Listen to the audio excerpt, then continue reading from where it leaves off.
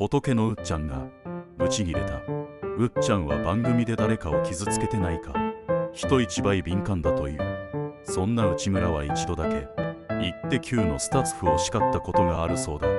それは妹がまだ駆け出しだった頃バンジージャンプ10本勝負という企画でのこと。その映像を見た内村は妹はまだ新人で飛べと言われたら断れない。絶対断れない人間を飛ばすのはダメだよ。とかなり強く言ったそうだ。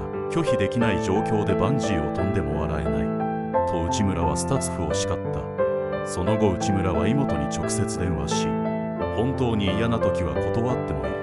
自分で断れなかったら俺から話すからその時は俺に電話しろ。と言った。内村は基本的に不満をスタッフに言わないが誰かを気遣っている時だけスタッフを叱ることがあるそうだ。